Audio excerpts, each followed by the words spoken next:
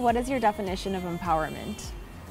My definition of empowerment is to me, every single human being is handed a different card in life. And some of it's great, some of it's horrible, some of it's in between.